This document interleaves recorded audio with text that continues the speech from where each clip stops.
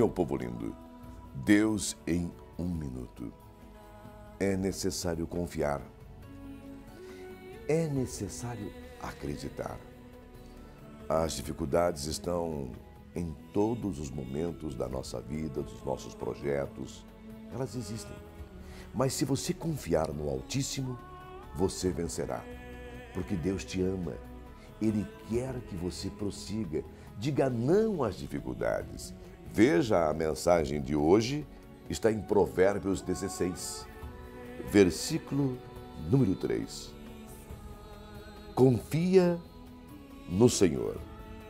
As tuas obras, os teus pensamentos serão estabelecidos, porque Deus te ama, Deus é fiel e justo. Amém?